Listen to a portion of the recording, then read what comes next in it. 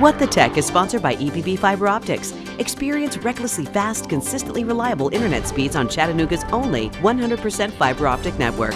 Learn more at epb.com. We rely on our smartphones for nearly everything these days. That includes, very important, the alarm clock app to wake you up in the morning. Yeah, many iPhone users report their iPhone alarm did not work, causing them to miss school or work. Our consumer technology reporter Jamie Tucker looked into what's going on and has a tip on what we can do about it. No one likes to wake up to an alarm clock, but if you set it, you want it to work. For some reason, Apple's alarm clock app is not working for some iPhone users, at least according to TikTok. What is up with these Apple alarms? Because t- thank you, iPhone 15. Has anyone else else's Apple alarm? Dozens claim they missed something important because they slept through their wake up time. When I set an alarm, I found when it first went off, it sounds fine, but a second later, the volume turns down to almost nothing. Listen to this. There's no way it would wake me up. iPhone apps are pretty dependable, so what's going on here?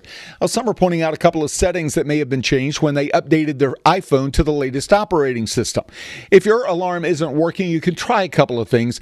Go to settings and under Face ID and passcode, scroll down to attention aware features and turn it off.